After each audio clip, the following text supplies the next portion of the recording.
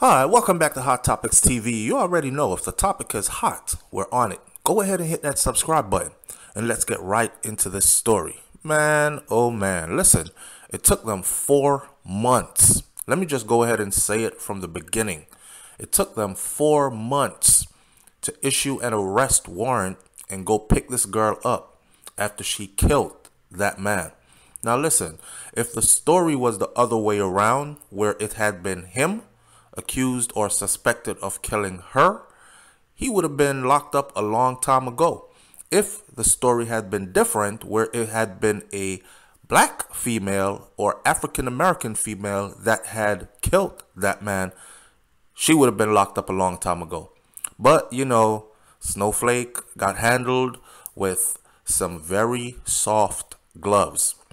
Instagram model arrested after her boyfriend was stabbed to death in Florida apartment. This was the first time I heard this. Okay, check this out. Some people are calling her Instagram model. Some people are saying that she was a OnlyFans model. I don't know. Maybe she's uh, working two jobs. Maybe she is working and earning on both platforms. Maybe she gets money on Instagram and she gets money on OnlyFans. When the story originally broke, the story said a OnlyFans wealthy female killed or suspected of killing her boyfriend in their Miami high-rise apart luxury apartment. If you don't know it, they make a whole lot of money sometimes on OnlyFans. There are people, regular people, who ended up making millions of dollars on OnlyFans. Whatever they do on OnlyFans, that's their business. Some people show ass and shake titties. Other people go through their lifestyle and people are interested, so they tune in. Law enforcement in Hawaii on Wednesday arrested social media model Courtney Clenney on a charge of second degree murder with a deadly weapon. Hawaii County Police said in a statement that they assisted the U.S. Marshal Service as they arrested the 26 year old in a place called Lopa Hoho. Can't make this up. H O E H O E. Laupahoehoe which is on the Big Island. Officers used an arrest warrant that was issued by the Miami-Dade County in Florida. She is being held at the East Hawaii Detention Center while she awaits for her initial court appearance in Hilo District Court on Thursday, police said.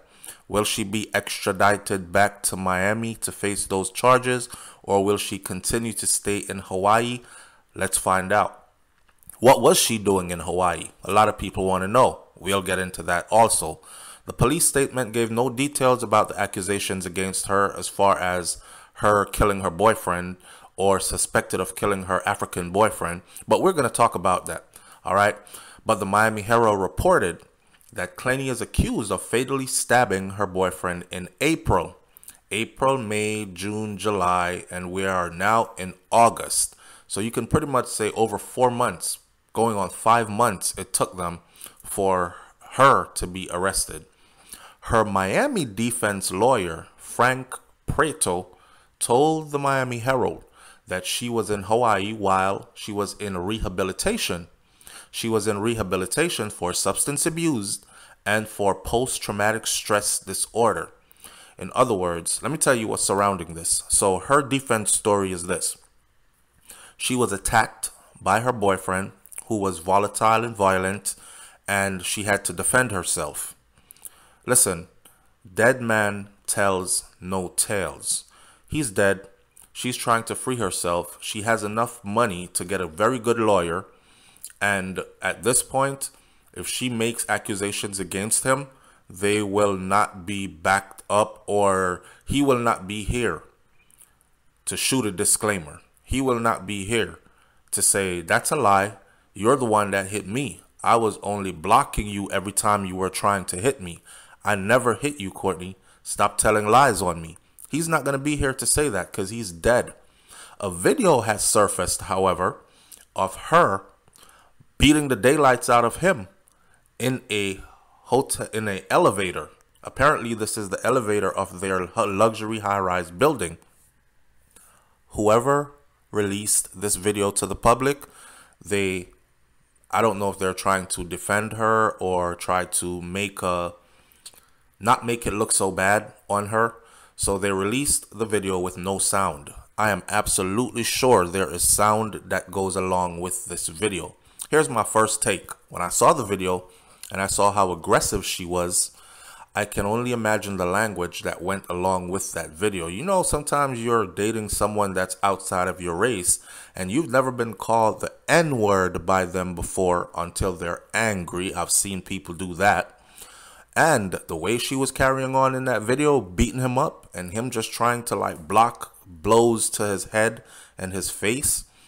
Hmm. I could only imagine what was being said in her moment of anger in that elevator. Neighbors in the building have come forward to say that that's a regular thing that they did in the elevator. See, here's the problem though. The neighbors hear a whole lot of noise, but they don't know who's doing the noise making. They don't know who's doing the beating up part of it. They might hear them arguing a lot and they hear stuff breaking, you know, and they hear, stop it, get off me, but they don't know who's doing the beating. Apparently, she was the aggressor, and now she is in Hawaii. Post traumatic stress because this whole situation was stressful to her. She committed a killing and she's stressed out about it. And it was under circumstances where she claims she had to defend herself. Also, substance abuse issues. Was she high and drunk when she stabbed her boyfriend to death? That'll all be found out in a court of law. I'm completely shocked. By the way, I don't think that's going to be found out in the court of law. And the reason is after she did what she did to him, she was questioned briefly by police and she was let go. Imagine that. Imagine this domestic situation. Me and my wife, we we get into an argument at the house. She ends up dead, stabbed to death. They know that I did it. They take me down to the police station. They question me. I give them a story and they let me go. Five months almost later is when they decide to pick me back up. Her attorney said, I'm in complete shock, especially since we've been cooperating with the investigation and we offered to voluntarily surrender her if she was ever charged. We look forward to clearing her name in court. Hmm. According to NBC News, the Miami Police Department has previously described Obumseli's death, that's his name, Obumseli, he was Nigerian, the Obumseli's death as a domestic violence related incident that involved a physical altercation that ended with a stabbing. They went through all that length to say that his lover stabbed him to death during an argument. That's all that was. His lover stabbed him to death during an argument. The attorney for her has previously described the couple's relationship as clearly toxic. no shit. And said that there is clear evidence of self defense in this matter. Wow. Well, you know what? It's an attorney's job to do that. It's an attorney's job to get their client off. I say this all the time. So I don't even pay too much attention to what the attorney says. First of all, that attorney was not there throughout the years, and they were together for a couple of years. That attorney was not there throughout the years that they were together, but he can make the same assumption that we could, looking in from the outside, that this was clearly a toxic relationship, whether it was toxic on both ends or it was just his client, her, Courtney the Instagram model, the OnlyFans model. Maybe it was her that was the toxic one. And her Nigerian lover, Obumseli, was so happy to be with her because she was his type. Oh, in case you missed it, she has money. Doesn't matter that she gets it on OnlyFans, but she, she most men wouldn't want their wives having an OnlyFans account because in order to get a lot of money on OnlyFans, you probably are going to have to get a little risque, right? However, that's not neither here nor there. Different strokes for different folks. But he was happy with who he was with, even if she was toxic. This led to a whole nother type of conversation because you had black women that were saying, listen, if she was a black woman, he would not have put up with half of what she did for not even a second. And the worst part was there were social media messages from Obumseli, the Nigerian, her lover, before his death, that spoke of black women in a way that was less than pleasing. There were things there where he said stuff like, alluded to fact and said stuff like, hey, they're not my type anyways. And they're ghetto. Most of them are ghetto and they act a certain way. And I'm not into that kind of, oh, did I not tell you I'm not into that kind of uh, woman?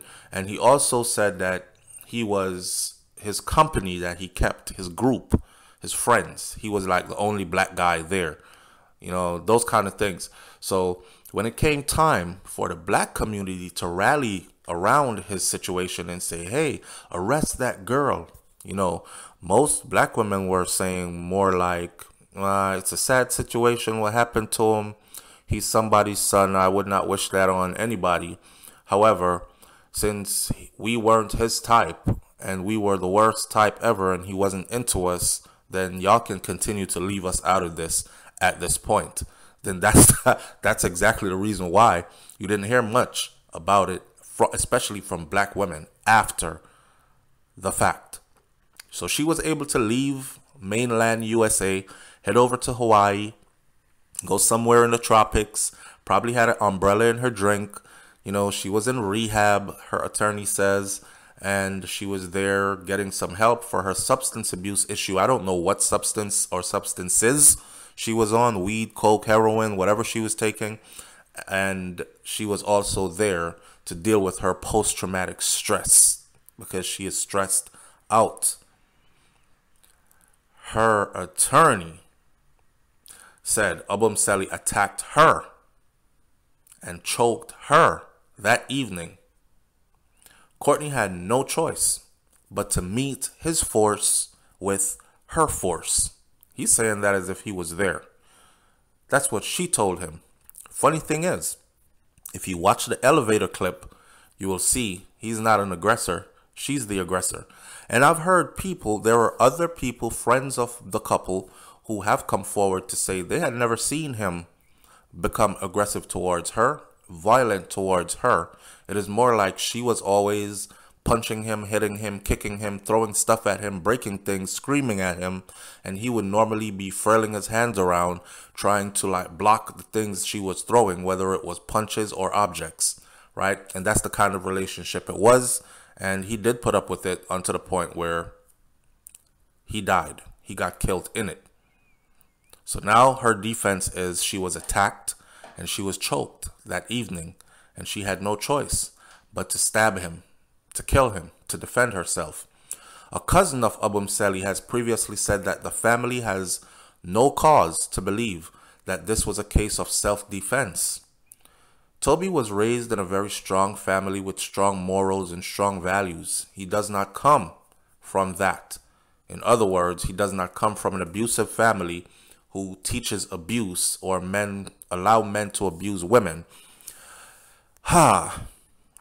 She appeared on OnlyFans under the name Courtney Taylor, and on OnlyFans she had over 2 million followers.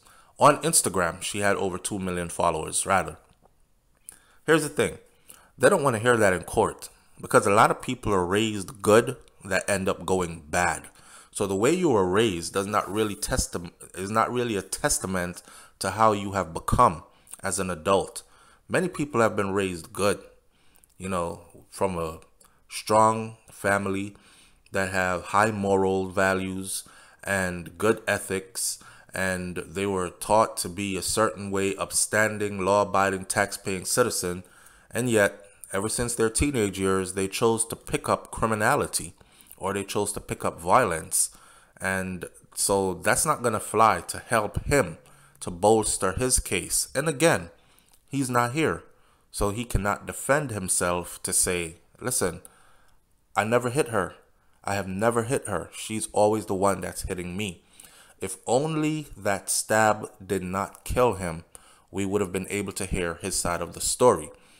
But again, his family coming forward to say stuff like this. He was not raised this way. He's from a strong family, strong morals, strong values. Uh, I can see the black community right now, especially the women. They're going to say, wow, he's from a black family with strong morals and strong values, and he had such strong opinion, strong negative opinions about black women, and his dream choice of a woman was a white woman. How strong were those values in that black family that you're talking about that he did not see beauty in the type of woman that brought him into this world? We can go on and on about the black white stuff, okay? Like the fact that there are a lot of guys out there who don't find beauty in black women. A lot of black guys that don't find beauty in black women, even though they were brought here to earth by a black woman.